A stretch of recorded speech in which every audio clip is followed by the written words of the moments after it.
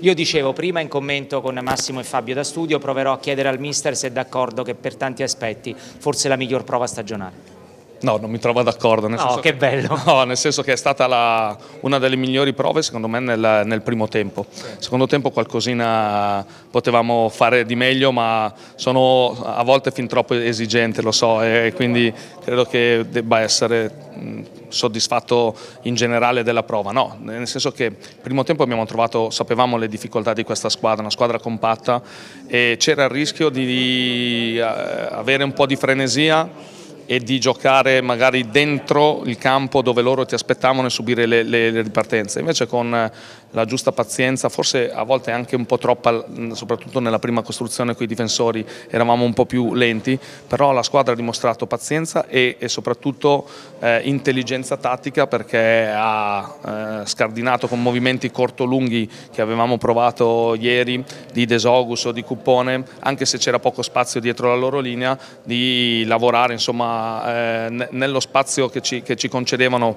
Eh, sono stati bravi, hanno creato 4-5 presupposti, lo stesso Lescano si è divorato un gol su un cross, quindi eh, abbiamo fatto secondo me un buonissimo primo tempo, intelligente e razionale. Secondo tempo magari abbiamo concesso, ma questo è credo inevitabile perché qualunque tipo di partita finora ne abbiamo l'esempio, tutte le partite che abbiamo giocato salvo forse, no, anche a Foggia c'è stato un momento del primo tempo, cioè ci sono momenti in una partita dove l'avversario comunque eh, riesce a, ad avere il predominio e, se tu non, non, sei in grado di chiuderla o di capitalizzare le occasioni che crei al momento giusto eh, rischi di soffrire e poi di, di, magari di rimpiangere queste occasioni come è successo in, eh, in altre partite.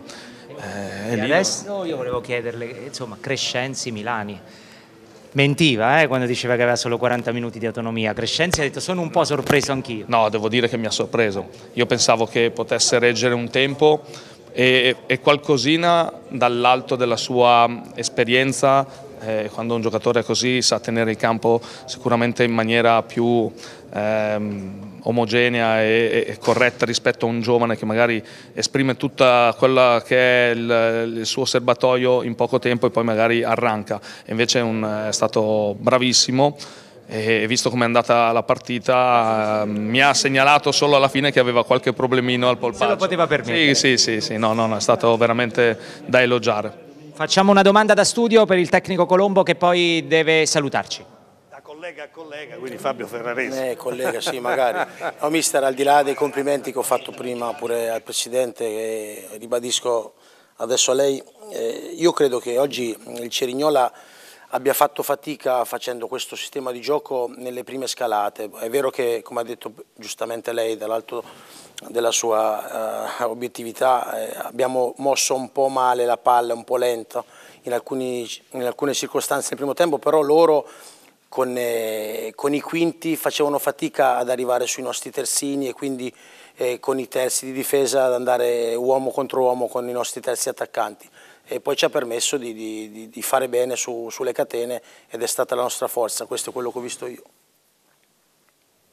Sì, eh, infatti io sono particolarmente contento proprio perché siamo stati intelligenti dal punto di vista della gestione della palla. Una squadra chiusa, eh, con questo tipo di sistema di gioco molte altre volte abbiamo forzato la palla centralmente sulla punta. Oggi invece dovevamo, avevamo l'obiettivo di spostare la squadra avversaria sul lato e poi teoria velocemente andare sull'altra per creare contro il quinto o eventualmente contro quinto e mezzala delle superiorità numeriche con la nostra mezzala, l'esterno che doveva stare largo e la sovrapposizione del, del, del terzino. E, e, su questo noi abbiamo cercato di, appunto, di attirare da, da, un lato, dal lato forte e andare sul lato debole con la giusta pazienza e con la giusta qualità, perché poi devi avere estremamente qualità nel mettere palla, ripeto, in uno spazio eh, dietro la linea difensiva che era quella dei 16 metri, quindi quando hai Palmiero, Mora e altri giocatori che sono in grado sul movimento della, degli attaccanti o dei, dei, dei, centrocampisti o dei terzini di metterti la palla giusta diventa tutto più semplice. Allora, noi salutiamo il tecnico eh, Colombo, gli faccio, metto un po' di pressione Max, 20 secondi perché voglio dire, Mora ha vinto due campionati di B da centrocampista, Aloi la C l'ha vinta da centrocampista, Palmiero la C l'ha vinta, ha un centrocampo che sa vincere. Eh, eh, e gli altri? Eh, sono solo tre, quindi... Il centrocampo. Vabbè, ok, speriamo di... che mi facciano vincere qualcosa anche a me.